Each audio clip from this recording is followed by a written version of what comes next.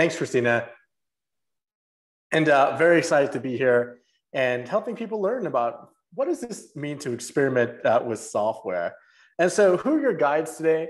Uh, so I'm Ravi Lachhman. I'm a lead evangelist here at Harness. I worked at several distributed systems firms before in various roles. And also along with me is my good friend, Ethan. But Ethan, for folks who don't know you, maybe a little bit of background about yourself. Yeah.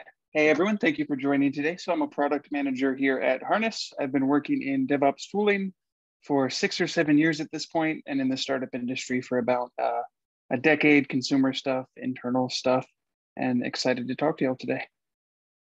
Cool, thanks, Ethan. So, what are we going to be talking about today? So, the first thing we're going to be talking about is the scientific method. So, if you go back to middle school or even elementary school, when you learn about the scientific method, uh, well, now it's for software. Uh, we're going to also be talking about this term called progressive delivery. And so, Ethan's going to dig into a little bit about some of the pillars of progressive delivery and also how we can start implementing progressive delivery uh, for the first time. And finally, what does it take to actually implement a feature flag? So a big part of progressive delivery is this concept of feature flagging. So feature flags can be for application features, they can be for infrastructure, or anything in between. But really, we'll take a look at and walk through, hey, when deciding when to flag something, when not to flag something, what is uh, your some of your options? So science. Let's start with one of my favorite topics as a, as an adolescent, science. So who, who remembers the scientific method, right? So it's the scientific method. It's, it's basically a, an empirical way of acquiring data, right? So first of all, um, imagine you're doing an experiment, right? So you say, you know what, part of this experiment may, might be if I were to melt, if I raise the temperature of ice above, you know, 32 degrees Fahrenheit or zero Celsius, it would melt, right? And so uh, basically it involves some sort of observation. Um, also, the scientific method also makes some sort of cognitive assumptions, right? So observation, I'm looking at the ice. the cognitive uh, assumption, it will melt above a certain temperature. Uh, and also that that's core to having a hypothesis, right? Saying, hey, I hypothesize if it goes above a certain temperature, uh, ice is going to melt. And really, you're ba- basing your deductions. Uh, so, you know, you're, you're, challenging and validating or invalidating your hypothesis based on an experiment. Uh, you know, we all done some sort of experiment in our days, but it's kind of lacking in the software world, right? Like as a, a application engineer or software engineer, um, there's reasons why experimentation, uh, you know, with real data or with users can be a little bit difficult, which I'll get into a, in a little bit. But as a consumer, we're subject to experimentation all the time.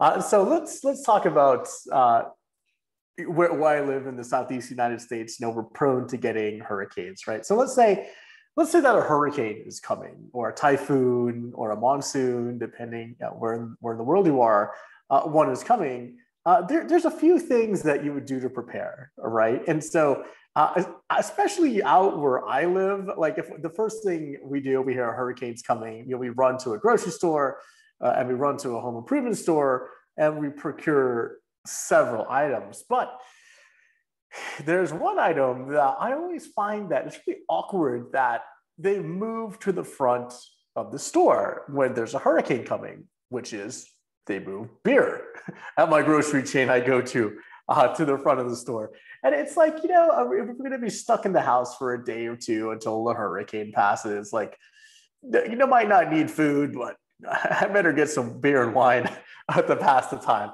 I, I, I, unlike, you know, if I think like that, a lot of my neighbors around here must think like that because beer is front and center only for the super bowl also it's it's front and center but basically the grocery stores realize that if they move items that you tend to want and tend to impulse buy or panic buy uh, to, to the front of the store um, by hypothesis and by retail data they're actually able to sell more beer right and so why did they move this is an experiment right? So someone must have had an idea. Hey, why don't we move beer to the front of the store?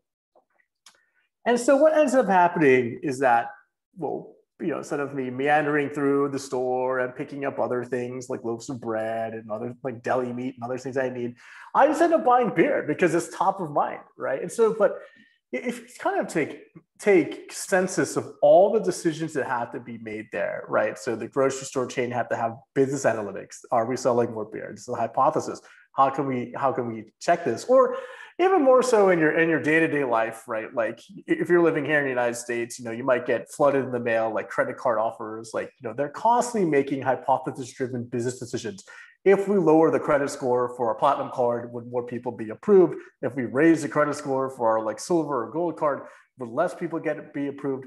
But this is basically what hypothesis based business decisions are, are based off of right and so, but it, equates to conversion. In this case, more beer sales. In the credit card example, it might be more folks signing up for a credit card, paying more monthly fees. Uh, because again, it's like how how exactly are they making this decision to, to, to either go one way or the other? It's like an A A B test, which we'll get into a little bit later. Uh, but basically, this is it. Feedback is crucial in in the technology landscape, or also in the software development lifecycle, or even the infrastructure development lifecycle. Uh, f- feedback can come in many forms, right? But as an engineer, uh, depending on where you sit, so if you might be an operations engineer, you might be an infrastructure engineer, you might be a system engineer, a cloud engineer, uh, sometimes you don't want the feedback because the feedback would be fairly difficult. Uh, kind of a personal anecdote here. Um, you know, I'm diabetic, and I have a, a, electronic glucose monitor on me, and so one of our customers is actually the, manufacturer of this, and so they're extremely worried about feedback from a user because by the time if I have a problem, it could be detrimental. But not maybe not such a severe case uh, for your organization, but again, it might be. You know what?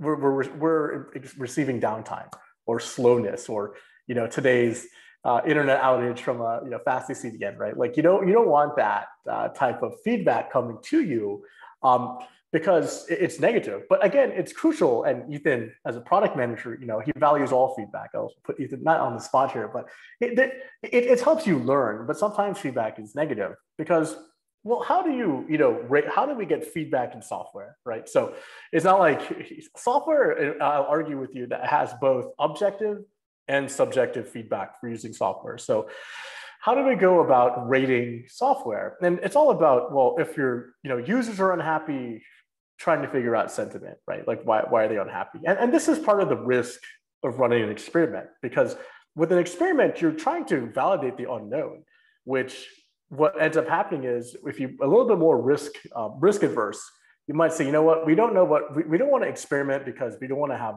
detrimental feedback. We're, we're concerned that this is the case, right? So this might be more of, you know, if you're an infrastructure engineer, you're deviating off the playbook, right? You're, you're doing things for the first time and you just want to get some sort of uh, controlled feedback. Uh, because let's take a look at typically two ways that you're getting feedback with infrastructure or software. So first thing is objective software feedback, right? So with objective feedback, this can be performance information, uh, this can be, you know, latency. This can be error rates. This can be pick, pick your. Uh, this can be uptime percents, right? And you know, quote unquote, slowness is a new downtime. You know, cliche saying is that.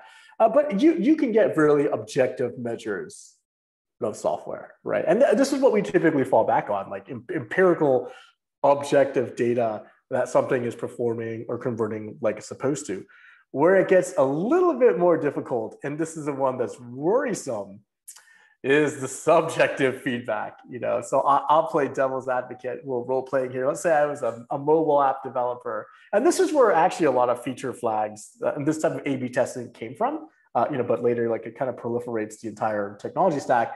Is that you know what if I wrote an app and you know I'm the producer and I gave it to Nathan? He's like, man, your, Ravi, your app is like the pit sucks give me double dislike, you know, in the app store and tweet tweet about it. Like subjectivity has a lot of a lot of feeling, right? And so p- part of what you want to capture um, when, when you're trying to get feedback is a little bit of A, a little bit of B. You want to get you want to capture the subjective feedback, but also you want to capture the objective feedback. Like, hey, can we warrant why someone's feeling this way?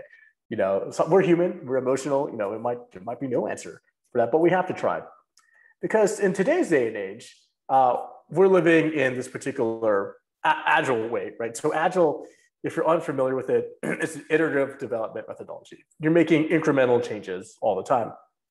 And now, uh, for those who have experienced waterfall, where you do, you know, you completely do the requirements and you completely finish the application, then you completely finish the infrastructure, and then you know you kind of start over from the beginning.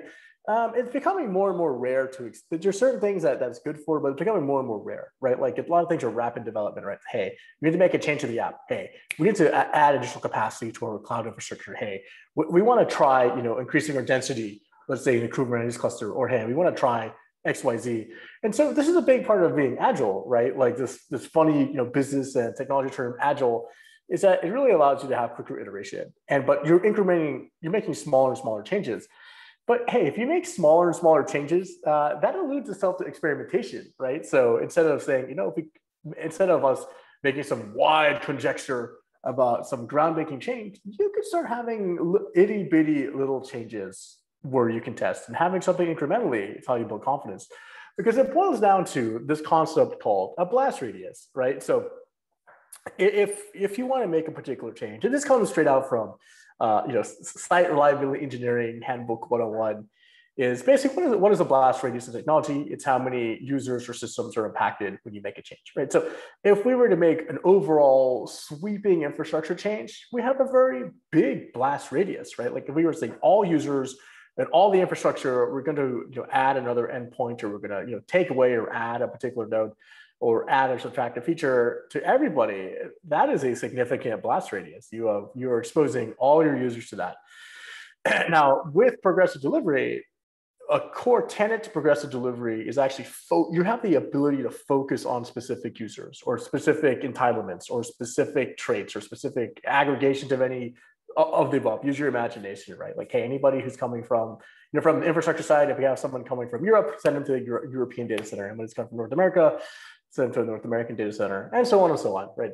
Uh, because basically, by limiting your blast radius, uh, you're able to have a few, a, able to add, uh, act more agilely, uh, but also you're able to produce quicker feedback, right? And so core to making adjustments, um, core to delivering software, delivering infrastructure, delivering technology is appropriately processing fat, feedback, right? You want feedback to be I forget what the acronym usually is for feedback, Ethan. It's like you want feedback to be like specific.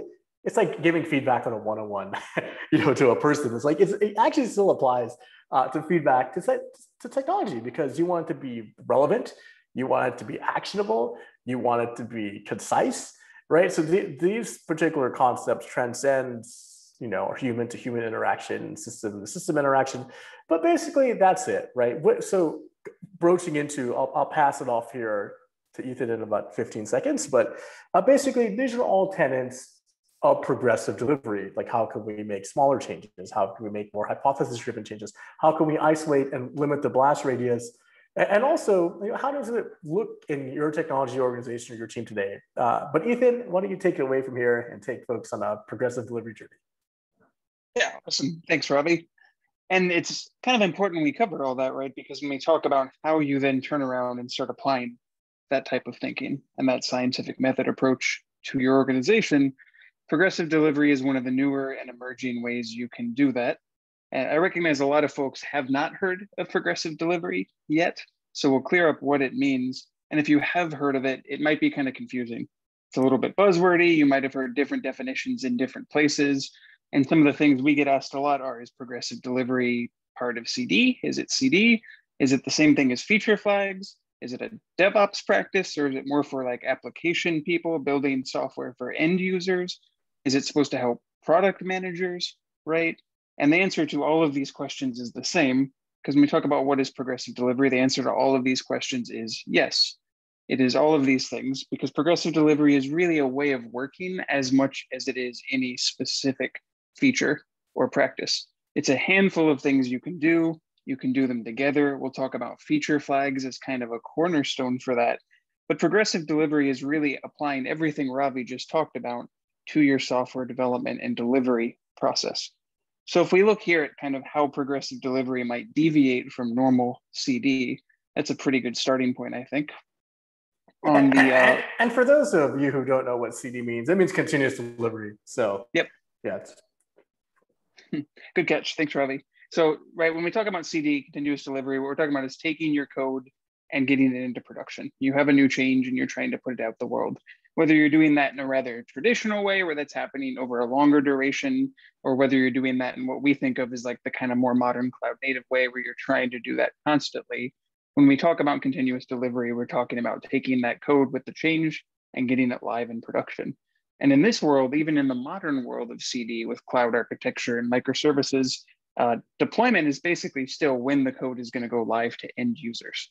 What progressive delivery is kind of asserting is you can decouple that deployment from the release to your end users. So you move the code artifact to production, but then you'll see on the right side of the screen, there's a step after that.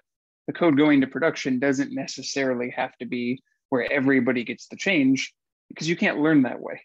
If everybody in your audience is getting the change with every deployment, how do you iterate? How do you do cohort studies? how do you start to figure out what the impact of the change is? Or as Ravi was talking about, control the blast radius and learn from it. So what progressive delivery does is post that deployment, you can start to turn on that new code for specific people based on criteria you want, and then you can learn based on what happens. And to give you one kind of concrete scenario, what we see here, let's say that I had a uh, new UI and I wanted to first turn that on for 10% of my UK users. Maybe I had a much lower traffic footprint in the UI in the UK, so I'm a little worried about performance of the new UI. So I'm going to start with a small subset of my users in my lower traffic geo. Let's say that looked good after a few days. So I'm going to do two things. I'm then going to turn it on for 10% of my US users, and I'm going to ramp it up to 25% of my UK users. And here we can see the paths deviate.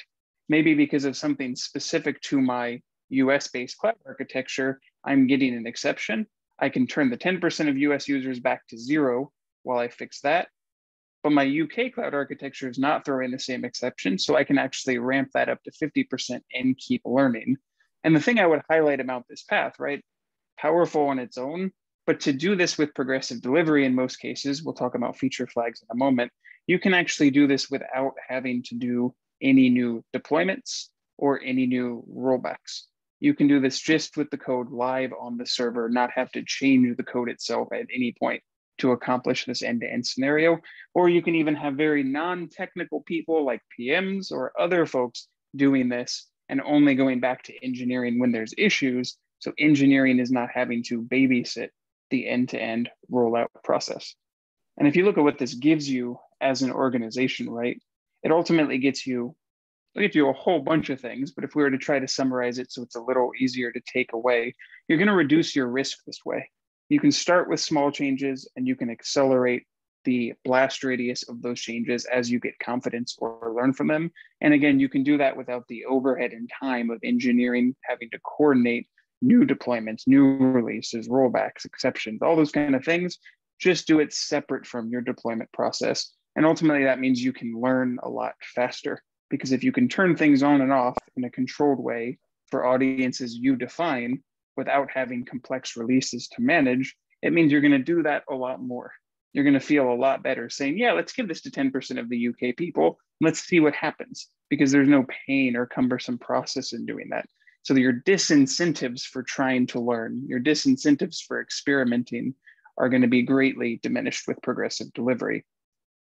And this is ultimately going to lead to an outcome that probably matters most to all of your stakeholders, hopefully to y'all as well, but you're going to end up shipping a better user experience. And it doesn't matter who your users are. If your users are internal people on your team, if your users are end customers out in the world, because you can learn faster, because you're more comfortable making changes, you're going to make more of them. Your experience is just going to get better. Some of the blockers to improving things, to learning, to making the right calls, or to just trying things out and seeing if it's better with those gone, your end customers are really going to benefit. Now, what I'd say, touching back on the scientific method here, though, is progressive delivery is ultimately a means to an end.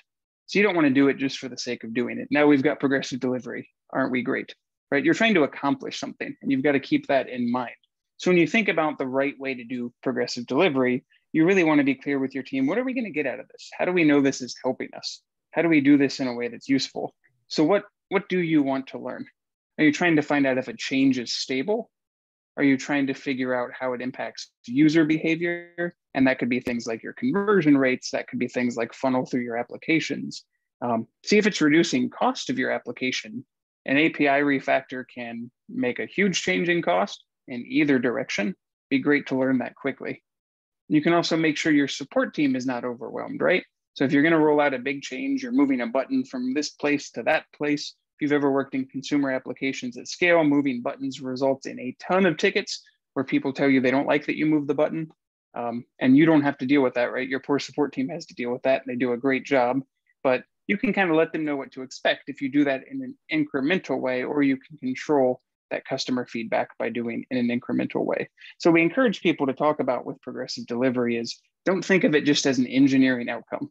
Now we can do this great thing where 10% of our users get the code artifact. We think about what is the user outcome, the business outcome, the team outcome you're trying to achieve, and then work backward from there to the right way to do progressive delivery. Now, another concept that is really tightly coupled with progressive delivery in a lot of cases is feature flags. So if you haven't heard of feature flags, you might have heard of feature toggles. You might have heard of just kind of app configuration files that you keep in your repo or your database. There's a good chance that you've been exposed to something like feature flags, even if you've never heard them called feature flags. And for some context, what a feature flag really is, you can imagine kind of a fancy if statement in your code around two potential code paths let's say one makes a button red, one makes a button green. They both exist in your code, right? You're not taking the red one out to ship the green one. And then you have kind of an if statement in the code that communicates up to a server or a config somewhere that lets you choose which one of those code paths to light up for who and under which condition. So it's really just a way to ship multiple versions of something so that you can turn them on and off and learn in production. And feature flag and progressive delivery, the reason they go hand in hand is because feature flags are ultimately such a great way to enable progressive delivery. So when we talk about enabling feature or enabling progressive delivery with feature flags, it's because feature flags let you make those changes with no new deployments and rollbacks because all of the code is there in the deployment. Initially, just kind of branched off with those flags or those if statements, like I talked about. Um, you don't have to do a new deployment every time you want to change which code artifact you light up. The external service or the config mapping, if you're using your own kind of solution, that tells the server when it's ev evaluating on the client side which version of the code to light up. And so feature flags are really that cornerstone. They also let you control that changes so that you can correspond them with metrics and outcomes, right? So let's say you're going to change a feature flag because you want to know if the red button is going to have a different impact than the green button. You want to know when you're going to turn that on. You want that to correlate to maybe events in your metrics and logs so you can easily see the outcome of that change. Maybe you want to fire some stuff off to analytics. Maybe you want to let people in the organization know we're making that change. Again, flags let you make that change in a very, very controlled way, separate from the release process. The other thing flags do, this last point there was very important, which is that you can see what's actually live for people. So one thing that can start happening when you have feature flags, experiment, progressive delivery, this modern world, is you go from there's a version of your application that's live to 20, 30, 40 versions of your application live for different subsets of users, right? You end up in this kind of multi-dimensional state where different people have different configurations. Feature flags are going to let you easily see who's got what. This user had a problem. This geo had a problem. What configuration of our application is ultimately affecting them? Now we talk about flags being a cornerstone of progressive delivery. It's also important to know that flags are not just for progressive delivery. So they have some other good engineering practices that are worth knowing about. With feature flags, you can work dark behind a flag so that you can ship constantly. And what I mean by that is if I'm a developer, I'm going to start every new feature branch with just instantiating a new flag so that all my code is by default behind a flag turned off. This means my team can ship that code or merge that code to master every single day and it's not going to take effect because it's behind a flag and the flag is turned off. So it's a really safe way to constantly keep my work merged in where you don't have to wait till I'm done and I'm ready to actually stress test it to do any kind of merge or CD event. It's also going to let you coordinate launches and stuff like that internally because engineering can complete their work, they can ship it off to production, they can move on, and marketing may not be ready to turn it on and talk about it for three weeks later that can be pretty painful scenario normally for engineers. Um, this you don't care with flags, right? Just ship it to prod. The flag is there. Here's the link marketing team. Turn it on whenever you want it. They can also, for engineering teams, be a great way to provide kill switches or different operational things that maybe you just always want the control, turn this off instantly. And in particular, turn this off instantly for certain audiences. Last thing they can do is they can help you manage what customers get access to what features and where. And so one way to think about it is if you're building a new product, you launch a new feature, put the feature behind a flag, and then you can go tell your support teams or your account teams or your PM teams, hey, if you've got any customers that you want to give access to the new feature, just go add them to that feature flag. Uh, you might have seen that work show up on engineering's plate day to day. Can you guys turn this on for this account? Now can you turn it on for this account? It's very distracting. It's very interrupting to engineering teams. So on top of the progressive delivery workflows, there's all these operational and way of working type things that feature flags will give you. One other thing I'd note here is the feature flags are not just for user facing features. So we've been talking about red button versus green button or moving beer to the front of the store, right? Feature flags can also help for some less obvious use cases that you might not be thinking about, such as refactoring your API. Roll that change out incrementally to stress test it, or gradually rolling over to a new service. We, uh, I worked for a startup a while ago. We were migrating to a new logging backend and we did that over the course of several months, day by day, with feature flags, incrementing it live so that we could iterate in production without constantly deploying and rolling back when there were issues. So an entire engineering focused use case, but feature flags really came in handy there. And they also let you do things like, you know, your data residency laws might be a little different in some country than others. So maybe there's some features that you need a slightly tweaked version of them in Europe versus the US. Flags are a really, really easy way to do that, where you can visualize that and control that across your organization in a less engineering centric way, such as all those configs exclusively living in a repo. So then ultimately, why feature flags? We talked about why progressive delivery earlier, and this is similar, it's adjacent and not exactly the same thing because your end story here, if you think of it in terms of hierarchy, feature flags bring all this flexibility to engineering organizations and one of the great things engineering organizations can do is leverage them to start doing progressive delivery, to start working in that scientific method that Ravi was talking about earlier. That's because feature flags are going to let you go really fast. No change is risky if every change is behind a flag, right? Put it dark behind a flag, ship it constantly, merge your feature branch to master every single day. You're never going to be at any risk with any change with feature flags because they are dark. It's going to take a lot of work and coordination and things like that off of engineering's plate day to day, including for things like launches, rollouts, but also for things like testing. Ravi mentioned getting that feedback. Wouldn't it be great if I, as a PM, could turn that new UI on for people as I talk to them so I can make sure I'm capturing that feedback and learning instead of having to turn it on for a bunch of people and just see who raises their hands. I can reach out to them directly. I've got a new UI. I, I want your feedback on this UI. And then I turn it on for them with progressive delivery and feature flags. And the third one's identical, right? You're going to end up with a better experience.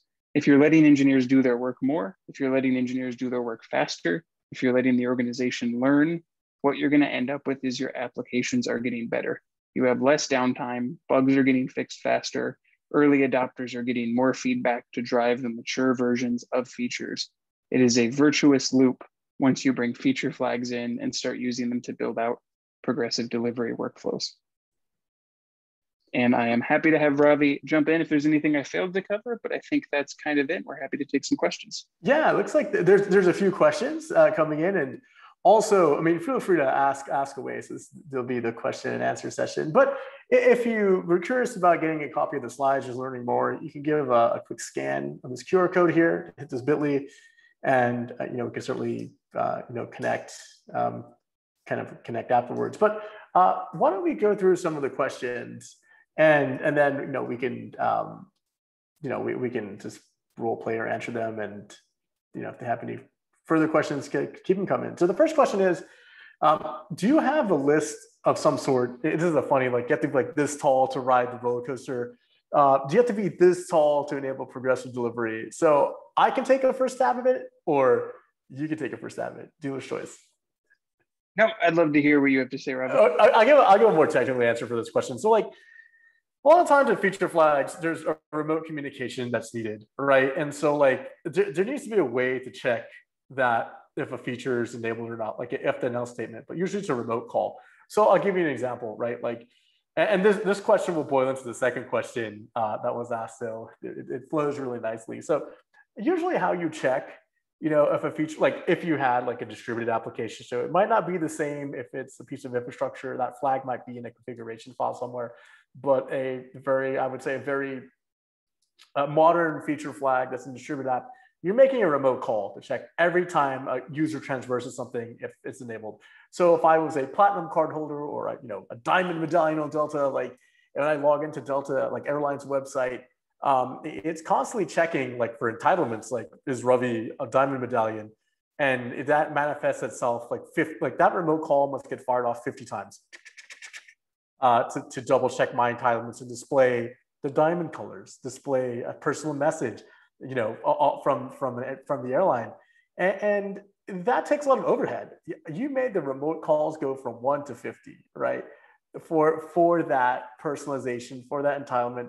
So it's if you're able to support the type of remote call, sure. Like if you can make some sort of remote else or checking a database, checking checking a config management database, checking some sort of backend, um, even processing some sort of logic. You know, if it's for, for a particular user, it's additional overhead. But you have to be able to make code changes like from the get go to roll that out, right? So there's no no minimum height required. Just understand that it's going to add additional overhead um, for that. Ethan, I don't know if you have anything to add or subtract. Uh, yeah, the only the only thing I'd add there, agree with all that, is also um, it can seem a little overwhelming. It can sometimes seem a little bit like there's this nirvana state, and if you can't get there, you can't do this at all. I would say you can probably bite off some use cases almost no matter where you are at. I've seen versions of progressive delivery work for on-premise software. I've seen it work in some pretty legacy places, even if that's what they weren't calling it. I would maybe work backwards from the core question of what are we trying to learn and how can we learn it a little faster in a little more controlled way and not worry so much about does the end state look like the perfect slides for progressive delivery because um, you can get there over time, right? You can get there step by step. Awesome answer. Okay, so the next question, it's about maintaining feature flags. So kind of TLDR, um, if what are some of the challenges in maintaining feature flags? Like if you had thousands of flags, uh, over a period of time, like when do you drop the feature flag? So I can take your first stab, you can take your first stab, or rock paper scissors. Oh, uh, I'll jump in on this one. Yeah. Um, it's a really good question, right? There are uh, lots of great thoughts out there. Here at Harness, we're working on feature flags and we're trying to take on some of this work. A thing to note about feature flags, right, is nothing is all roses. So when you get a lot of feature flags in your system, what you have is, in some cases, a lot of tech debt because maybe the feature flag stopped being useful six months ago. You're done with that feature. Uh, what you have is a lot of different uh, versions of things. Different developers might standardize slightly differently. So there are definitely maintenance and lifecycle challenges with, with feature flags. Um, right now, most of the solutions tend to honestly be hygiene and process. Um, good teams should clean up their flags as they're done using them when you're done with a flag is kind of up to you, but it's essentially when you're not going to need to turn on and off that feature dynamically anymore. If that new UI is hit 100% in all geos and you don't anticipate that you need a kill switch to suddenly revert to the old UI, you should probably go in there and deprecate that flag and just make that the code instead of having that continue to live under a flag that's tech debt. Um, right now, again, that tends to resolve revolve around good practices, hygiene. I've seen some really smart stuff built out in Jira in terms of there being flag cleanup states associated to tickets three months later. I've seen some good Slack ops type stuff with reminders. We're trying to help with this problem through some automation and cleanup work we're looking at.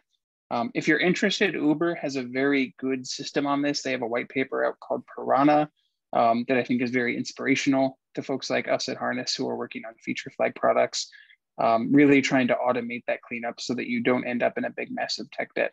So know going in it's a problem and talk with your team about the kind of hygiene and practices you want, um, but pay attention to it for sure.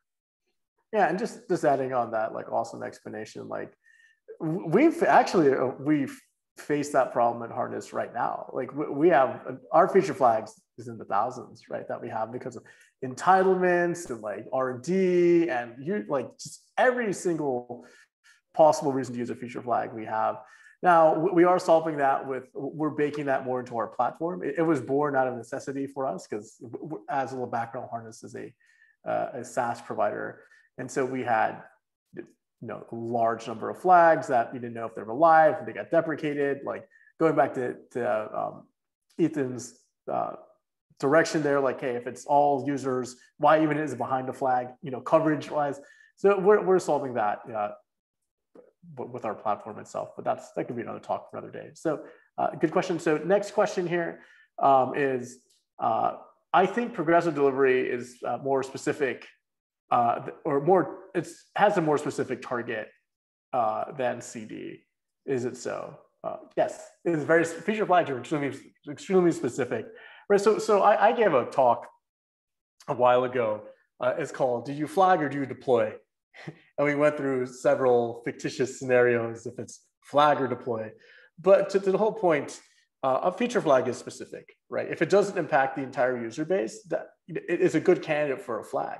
If it does, it's a, it's a deployment, right? So uh, to Ethan's uh, proposed workflow, you know, to enable feature flags, you have to deploy the flaggable application at one point, right? So if, if it's a greenfield application, it's there from the get-go. If it's a brownfield application, you know, you're making changes and deploying uh, a version of the application that can be toggled on and off or blocks of code or methods or the invocation path changes, right? Um, so it is pretty specific there. Ethan, anything specific, any add or subtract to that? the only thing I'd say, and I might not be uh, interpreting the word targeting customer in, in, quite the way you intended, but just to throw it out there, I would say progressive delivery is very problem specific in a way that CD is not. CD is a delivery deployment, whatever you want to call it, right? The end goal is get your changes onto production. Progressive delivery is really a way of designing scenarios against specific problems, specific things you're trying to learn. Um, whether that's infrastructure things, customer things, um, it's it's a way that you can build a learning loop around your changes instead of just shipping them. Awesome, awesome. I think I think for the the next question, actually you you answered it part of what that I that was my first time hearing that Uber project. Maybe just restating it one more time, like some some advice for like some resources to learn uh, for next steps. Yeah, so the Uber white paper is called Piranha. It's a very cool system. Um, I think anywhere you look at kind of the the DevOps Institute type stuff, the Accelerate type stuff, um, you're going to find a lot of information around progressive delivery. You're going to find a lot of information about feature flags in that general world. Awesome. Uh, the next the next question was more of a statement. It was just saying that this person agreed uh, with us. So and similar patterns. So awesome. Yeah, like uh, keep keep keep on pushing with progressive delivery. Uh, the, next question um, so reading it, it's uh, what what about clusterization? So if you're this is a good one for you, uh, Ethan. So like th- you're working with a significant amount of feature flags. Um, how do you keep track of like what customer gets the flag or like if they get multiple flags? And it's uh, the, the last point. It's a, a pretty good open discussion. Like how do you identify the specific feedback? how do you how do you disseminate that feedback? Yes, that's a really good question, right? We didn't cover it, but one of the things that's pretty common is teams will start out by building their own sort of feature flag solution um, internally, app config switches and things like that. Um, one of the reasons we think it makes sense to graduate to commercial feature flag solutions is the basis of your progressive delivery workflows, like the one we're building here, is exactly to solve that problem. Um, so, for instance, you need your feature flag solution to have really good UIs so that you can put in different accounts or targets and see exactly what the state of the world is, which 15 flags are impacting them and what state are those flags in. You also need some evaluation precedents because to your point, I might have one user that through three different flags is in a conflict situation where one flag rule conflicts with another flag rule, right? The system needs to know how to handle that precedent. What rules get evaluated in what order? If the rules disagree with each other, who wins? Right? Commercial solutions like ours and like others tend to have uh, a lot of thought put into this, a lot of maturity put into this to handle exactly those kind of scenarios. For instance, we've got a screen where you can put in any identifier for one of your targets and instantly see every flag impacting them across your whole application. That can be hard to do in your own solution, and it can start to loop back around and cause problems instead of helping you if it's allowed to go a little bit too mature or scale up too much without solving that. That's an awesome answer. I see. I see that. That's so you're the PM. for very laser focused on this problem. I love it. Um, so for the uh, next question, um, I'll take. I'll, I would like to take a stab at this and have the hitter come in behind me, Ethan. And so, what kind of resistance to adoption of progressive delivery do you foresee?